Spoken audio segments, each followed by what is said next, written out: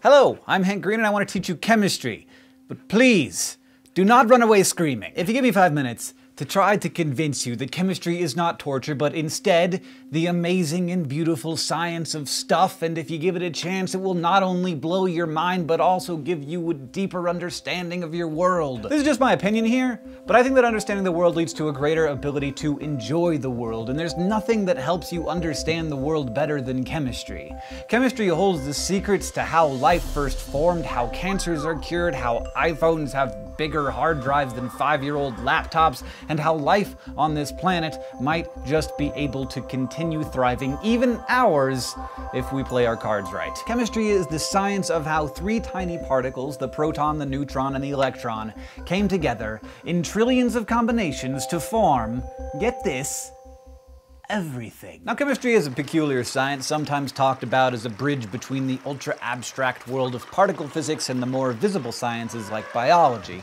But calling chemistry a bridge is like calling Eurasia an island. Chemistry has it all mad scientists, world changing revelations, the practical, the impractical, medicine bombs, food, beauty, destruction, life, and death. Answers to questions you never knew you had. I love chemistry, and I hope I can give you a glimpse into why. So today, let's start out with maybe the biggest idea of all time and move on from there. Stuff is made from atoms.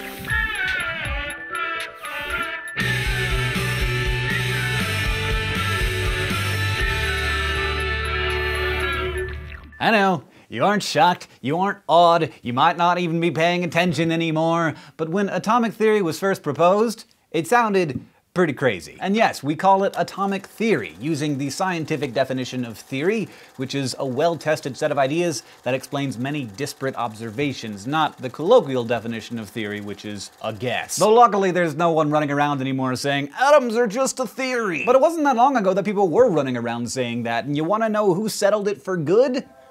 Einstein. Atoms had been postulated for a long time by the 20th century, but it wasn't until Einstein mathematically proved the existence of atoms and molecules in 1905 that the matter was truly settled. And you thought Einstein was all about relativity and E equals mc squared. He also proved atoms exist. Here's how it happened. In 1827, a botanist named Robert Brown was looking at pollen grains in water through a microscope, and he noticed that they jiggled randomly even when there was no movement to cause the jiggling. It was a mystery for a long time, until 1905 when Einstein theorized that this phenomenon was caused by as yet unproven atomic particles actually smacking into the grains of pollen. He wrote up some fancy math showing that his theory predicted this motion almost perfectly, and everyone had to concede that yes, tiny discrete bits of matter were indeed smacking into the pollen, and thus molecules, and by extension atoms, must exist. Today, we remember this botanist and his discovery by calling the motion he observed Brownian motion. It's kind of crazy that every physical thing you've ever interacted with is made up of little ball thingies. It started with people wondering what would happen if you just kept slicing something in half forever. Eventually, and of course it turns out that there's no knife sharp enough to do this, you end up with one pure unbreakable bit of that substance. The word atom, indeed, is from the Greek for indivisible, though, of course, as we learned in World War II, atoms can be broken as well. So all the stuff that we think of as stuff is made of atoms, tiny, discrete particles that have specific properties depending on the arrangement of three simple subatomic particles. There's the proton, heavy and positively charged, the neutron, about the same size as the proton but neutral, and the electron, which has the same amount of charge as the proton, just opposite, and very nearly has no mass at all, about 1800 times less massive than the proton or neutron. Protons and neutrons hang out in the nucleus, and thus are the nuclear components, or nucleons. Electrons hang out around the nucleus and are the parts of the atom that do all the interesting chemical stuff. But before we get to the chemistry of the electrons, we first have got to understand the properties of the nucleus. Okay, this is pretty important, so pay attention here. The number of protons in an atom determines what element it is. 79 protons, always gold. 59 protons, always praseodymium. The number of protons in an element is its atomic number. It sits right on top of the box in the periodic table because that is the element's defining trait. So an atom of silver with 47 protons in its nucleus is always an atom of silver. Depending on what its electrons are doing and what it's bonded to, it might be part of a chemical that's silver colored or black or blue or shiny or poisonous or a cure for disease. But whatever it is, that atom is still silver, and will remain an atom of silver probably forever, because that core number is very, very difficult to change. Now you might have noticed something weird about silver here. Its chemical symbol, the one or two letter short code that tells you what it is, is Ag, not Si, which is silicon, or SV, which is perfectly available. But Ag, why? To torture you?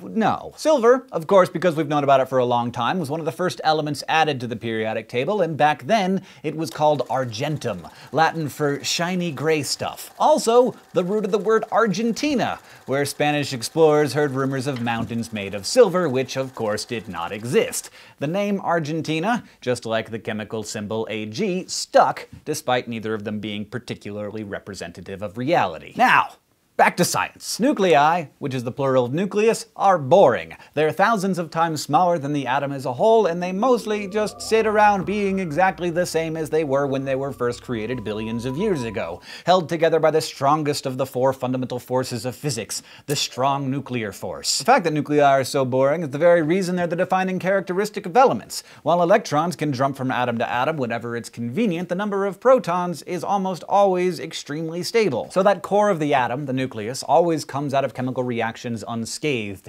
It's the bit that we can bump around from reaction to reaction but always remains pure and behaves the same way as any other atom with that number of protons. The atomic number is the soul of the atom.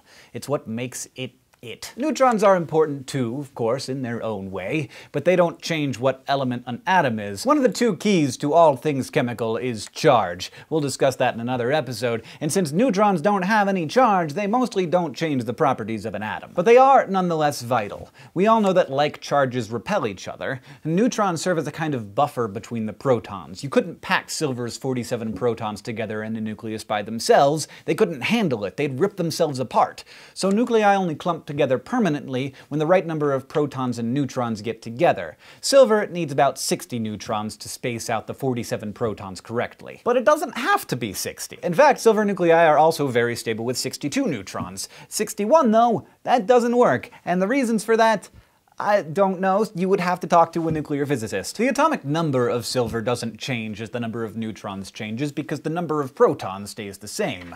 But the relative atomic mass does change. Relative atomic mass, which used to be called atomic weight back when I was in school, is basically the number of protons plus the number of neutrons averaged across all the silver on Earth. Because silver has two different stable isotopes, each with a different number of neutrons, its relative atomic mass ends up not being a whole number. About 52% of silver has 60 neutrons and about 48% has 62. The relative atomic mass then ends up being about halfway between 107 and 109, 107.8682. You'll note that I said these two different sorts of silver are called isotopes. They have different masses but the same chemical properties and are the same element and so belong in the same place on the periodic table. In fact, the word isotope means same place. And different isotopes have different mass numbers. The mass number is just the total number of nucleons in the nucleus, which is different from atomic mass. It's simple addition for a single atom rather than an average of all the relative atomic masses of all the silver atoms on Earth. So silver has two stable isotopes, one with a mass number of 107, which we'd call silver 107, and one with a mass number of 109 silver 109. There's an easy way to write all this out, of course, to keep your information straight. The chemical symbol with the atomic number or number of protons here, the mass number or number of protons and neutrons here, and the charge out here, which tells you by simple addition or subtraction how many electrons there are. Finally, before we conclude this first episode of Crash Course Chemistry and thus our discussion of the atomic nucleus, a note on the pronunciation of nucleus. You are welcome to say nucleus. It is an accepted pronunciation of that word, but if you can find it in you, it's probably best to switch over to nucleus, which is, after all, how it's spelled. And that is all for today's episode of Crash Course Chemistry. If you were paying attention, you now know more about atoms than anyone did in 1900, like that they were finally confirmed when Einstein mathematically defined Brownian motion that elements are chemically pure substances, and the type of element an atom is is defined by how many protons it has in its nucleus, or its atomic number. That neutrons stabilize nuclei for their proton friends, that different isotopes of the same element are the reason relative atomic masses are never whole numbers, and you know that nuclei are the uninteresting, boring bits of the atom, and the electrons are where all the interesting chemically stuff happens. Crash Course Chemistry is filmed, edited, and directed by Nick Jenkins. Dr. Heiko Langner is our chemistry consultant. Sound design is done by Michael Aranda, and our graphics team is Thought Bubble. If you have any questions, comments, or ideas on any of this stuff, we will endeavor to answer them in the comments below. Thank you for watching Crash Course Chemistry.